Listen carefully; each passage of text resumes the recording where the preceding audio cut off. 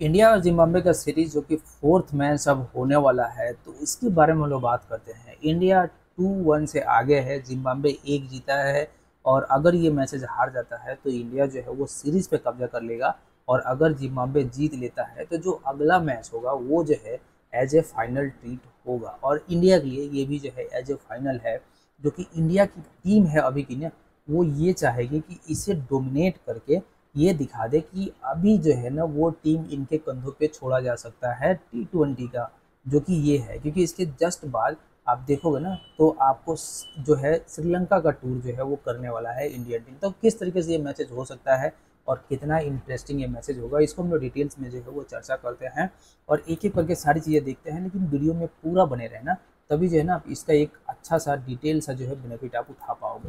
सबसे पहले बात कर लेते हैं तो ये जो है ना फोर्थ मैच आपको देखने को मिलेगा, जो कि होगा तेरह जुलाई को, यानी कि सैटरडे को। टाइमिंग जो होगा, वो होगा four thirty Indian stand timing के हिसाब से, और वेन्यू जो है वो सेम रहने वाला है, हरारे में जो है पाँचों मैचेज है। इंडिया में लाइव जो है इसे सोनी लाइव जो है वो देख सकते हो। सबसे पहले बात कर लेते हैं कि अभी तक जो है आप मुझसे नहीं जुड़े हो, और चाहते हो कि विनर सेशन एंट्री में बहुत अच्छे से आप प्रॉफिट उठा पाओ, ये व्हाट्सअप का नंबर है, जहाँ पे आपको जुड़ जाना है। साथ में आप टेलीग्राम पे भी सकते हो कॉल पर सर्च करके। और आप जो है चैनल सब्सक्राइब कर लेना, जहाँ पे आपको इससे रिलेटेड सारी चीज़ें मिल जाता है और ये चीज़ें आपको वीडियो के डिस्क्रिप्शन में भी मिल जाएगा तो वहाँ से जो है आप डायरेक्टली जुड़ सकते हैं। सबसे पहले बात करते हैं हम लोग पीच रिपोर्ट का। हरारे की पीच रिपोर्ट की अगर हम लोग बात करते हैं तो यहाँ पे तीन मैचेज हो रखा है। तीन मैचों में से एक मैचेज लो स्कोरिंग मैचेज था, दो मैचेज हाई स्कोरिंग मैचेज जो आपको देखने को मिले। और ऑन एवरेज आप देखोगे यहाँ पे तो अगर पहले बैटिंग करते हुए कोई टीम अच्छे से संभल जाता है, एक अच्छा खासा रन आपको देखने को मिलेगा। और ये चीज़ें मैंने पिछले वीडियो में आपको बताया था कि अगर इंडिया यहाँ पे टॉस जीतेगा तो पहले बैटिंग करेगा, लेकिन अगर जिम्बाब्वे टॉस जीत जाता है तो वो पहले बैटिंग इंडिया को नहीं देगा। वो पहले बैटिंग करेंगे और कोशिश कोशिश करेंगे कि इंडिया को चेसिंग करने के लिए बुलाया जाए। हालाँकि चेसिंग भी जो है ना इंडिया अच्छा करता है, लेकिन अगर इस पिच की बात करते हैं तो यहाँ पे चेसिंग जो है वो थोड़ा सा डिफ़िकल्ट क्यों हो सकता है कि हमने देखा है पीछे जो है ना थोड़ा सा स्लो पड़ते जा रही है, जैसे जैसे मैचेज आगे बढ़ते जा रहा है। शुरुआत में पिचेज में थोड़ा सा जो है बाउंड जो है वो अनइवेंट रहता है। जिसके चलते हमने ये भी देखा कि शुरुआत में विकेट यहाँ पे अच्छा खासा जा रहा है, लेकिन बीच में पिच जो है ना, बहुत अच्छे से बैटिंग तरीके से जो है कन्वर्ट होते हुए नज़र आ रहा है, जहाँ पे बैटिंग बहुत अच्छा हो रहा है। और यही रीज़न है कि यहाँ पे शुरुआत में बैटिंग करना दोनों टीमें पसंद करेगी। लेकिन अगर चेसिंग की बात आती है तो चेसिंग में स्पिनर्स भी आप देखोगे तो थोड़ा सा ज़्यादा इम्पैक्ट डाल रहा है। इसके अलावा फास्ट बॉलर भी देखो तो भी इम्पैक्ट डाल रहा है। तो बॉलर्स का जो बॉल वाला है, वो सेकेंड इनिंग में थोड़ा सा ज़्यादा यहाँ पे रहने वाला है। बात कर लेते हैं यहाँ पे तो अभी तक अगर स्टेट्स की बात करते हैं तो 43 मैचेज हो चुका है जिनमें से 24 फ़र्स्ट बैच जीता है 19 सेकंड बैच जीता है और एक सौ छप्पन सत्तावन यानी कि 160 मान लो जो है यहाँ पे फ़र्स्ट बैट एवरेज है।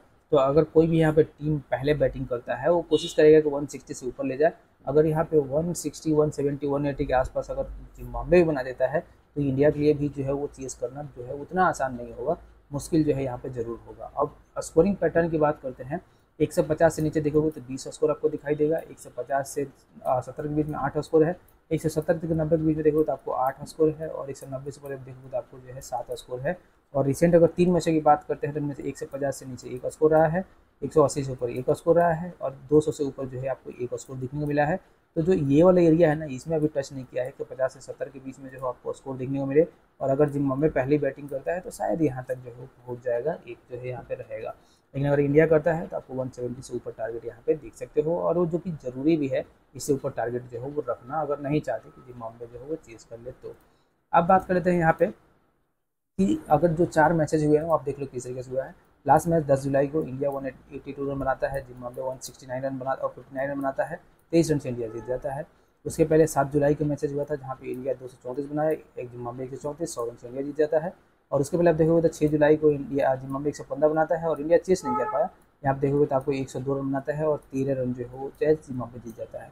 अब यही मैं आपको कह रहा था कि अगर ये तीनों मैचेज देखो ना लास्ट के तो यहाँ पे देखो डिफेंड हुआ डिफेंड हुआ डिफेंड हुआ। यहाँ पे देखो एक सौ पंद्रह डिफेंड हुआ, दो सौ चौंतीस डिफेंड हुआ, एक सौ एटी टू जो है डिफेंड हुआ। तो यहाँ पे जो डिफेंडिंग का टारगेट है ना, वो बहुत ज़्यादा चल रहा है। और अगर पहले कोई भी टॉस जीतेगा तो देखना यहाँ पे पहले बैटिंग करने के लिए जो है वो जाएगा। क्योंकि जिस तरीके का ट्रेंड ये तीन मैचेज बना दिए है ना, कोई भी कोशिश करेगा कि यहाँ पे जीत के एक सौ सत्तर के आसपास रन बनाओ और डिफेंड जो है वो हो जाएगा। तीस तरीके का जो है यहाँ पे चलेगा, जो आने वाले इनिंग होंगे वो। और इंडिया के लिए एक अच्छा टेस्ट भी होगा कि क्या वो चेस कर पाते हैं या नहीं। कि जैसा पहले मैच में हुआ था, वैसा ही जो है आपको देखने को मिल गया। अब बात करते हैं हेड टू हेड का तो ग्यारह मैचों में से आठ इंडिया जीता है, तीन जिम्बाब्वे जीता है और इस साल एक मैच जो है वो यहाँ पे जीता है। रिसेंट पाँच मैचों की बात करते हैं तो इंडिया एक जो है वो हारा है जिम्बाब्वे से ही, बाकी चार जीता है और इसके अलावा तो जिम्बाब्वे जो है एक जीता है लास्ट तीन मैचों में दो जो है वो हारा है।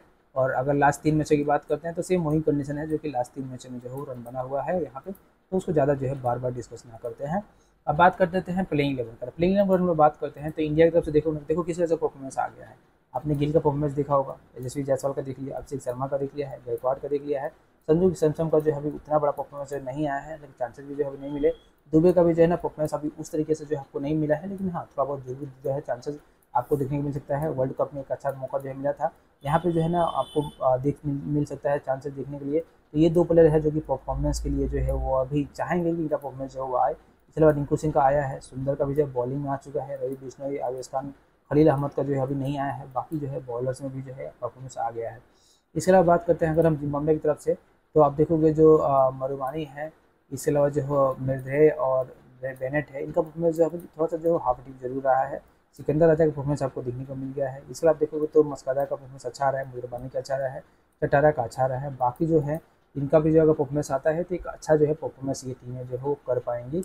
जिस तरीके की इनकी टीम है, एक अच्छा जो है टीम आपको यहाँ पे देखने को मिल सकता है। अब बात करते हैं यहाँ पे ड्रीम इलेवन टीम का तो ये जो है ना स्मॉल लीग का टीम है, बाकी जो जी का टीम है, वो आपको टेलीग्राम पे मिल जाता है। टेलीग्राम पे जो है डायरेक्टली जो है वीडियो के डिस्क्रिप्शन से ज्वाइन कर सकते हो। और विकेट कीपर में जो हमने यहाँ पे सी मिलन को रखा है, आप चाहो तो संजू को भी जो लेके जा सकते हो।